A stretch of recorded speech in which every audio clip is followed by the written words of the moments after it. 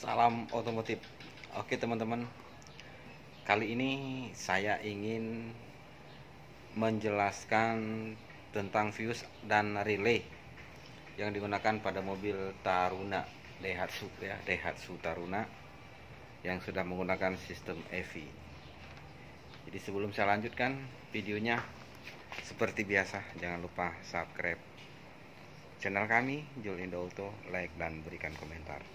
Semoga nanti apa yang kami sampaikan bermanfaat khususnya bagi pengguna-pengguna Taruna yang memang belum mengetahui. Tapi yang sudah mengetahui ya enjoy enjoy aja. Oke? Mohon maaf kalau penyampaian kurang tepat. Selamat menyaksikan.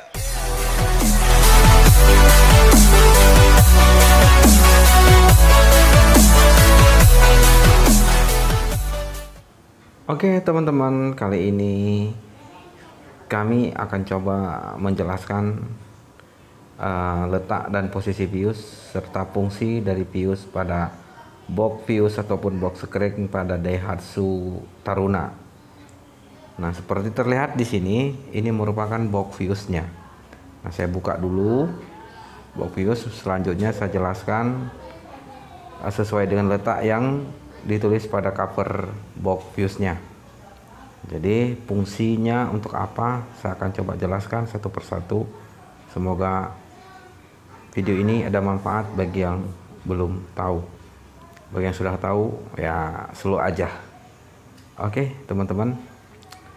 Yang pertama saya akan coba tunjukkan.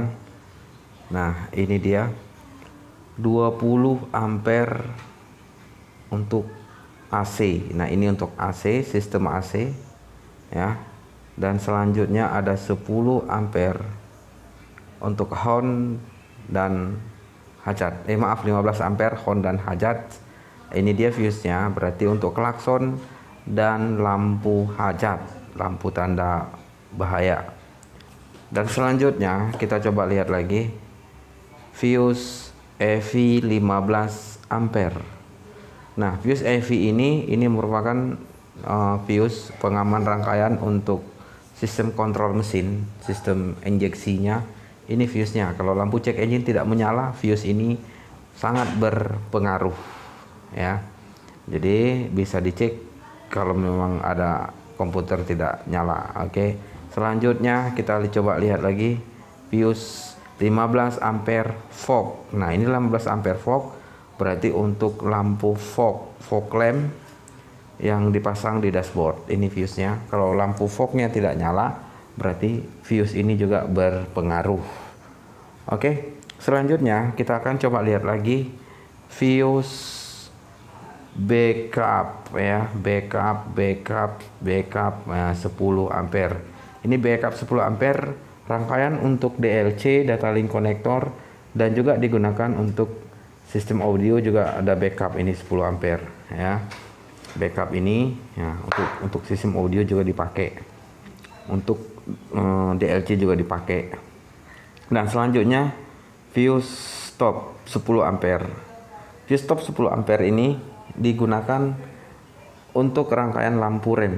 Jadi kalau misalkan kita mengerem lampunya tidak menyala nah ini fuse ini juga berpengaruh.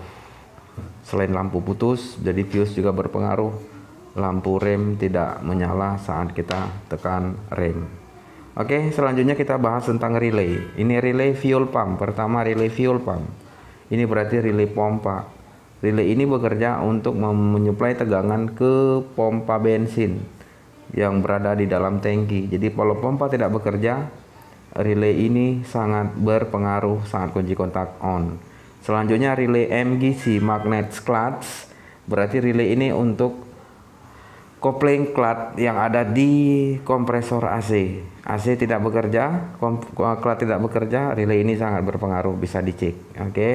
Nah, ini relay fog. Nah, jadi fuse fog ada, relaynya pun ada, fog lamp. Ini lampu fog yang tidak bekerja, relay ini juga berpengaruh. Oke. Okay.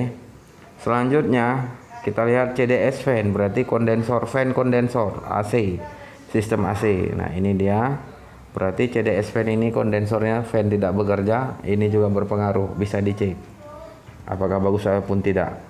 Selanjutnya ada EV main relay ini relay EV relay ini juga menyuplai tegangan ke ECU berarti kalau lampu cek engine tidak menyala ini juga berpengaruh. ECU tidak bekerja. Bisa dicek di sini juga. Oke teman-teman. Selanjutnya kita coba cek fuse utama. Fuse utama heads untuk lampu kepala cartridge 30 ampere. Nah ini untuk lampu kepala. Nah ini dia. Kalau lampu kepala tidak menyala juga ini fuse ini juga sangat berpengaruh. Karena dia dia fuse utamanya. Dan selanjutnya untuk lampu kota 40 ampere. Tel lampu kota lampu senja lampu belakang ini dia. Fuse cartridge 40 ampere. Fuse utamanya. Dan selanjutnya yang ter yang terakhir ini adalah AM 60 ampere. AM 60 ampere ini digunakan untuk B plus kunci kontak. Nah kalau kunci kontak kita on karena dashboard tidak nyala semua tegangan tidak masuk fuse itu sangat berpengaruh.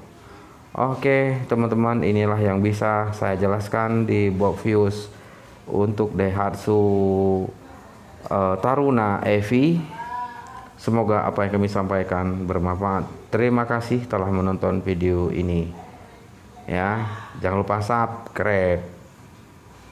Terima kasih telah menonton video kami tentang penjelasan fuse ataupun screen dan relay. Semoga apa yang kami sampaikan menjadi pengetahuan bagi yang belum tahu dan yang sudah tahu. Jadi apa namanya untuk mengingat kembali siapa tahu lupa. Terima kasih sekali lagi jangan lupa subscribe channel kami dan channel ini berkembang dengan dukungan teman-teman semua like videonya berikan komentar untuk bisa kita diskusikan Terima kasih. Salam otomotif. Assalamualaikum warahmatullahi wabarakatuh.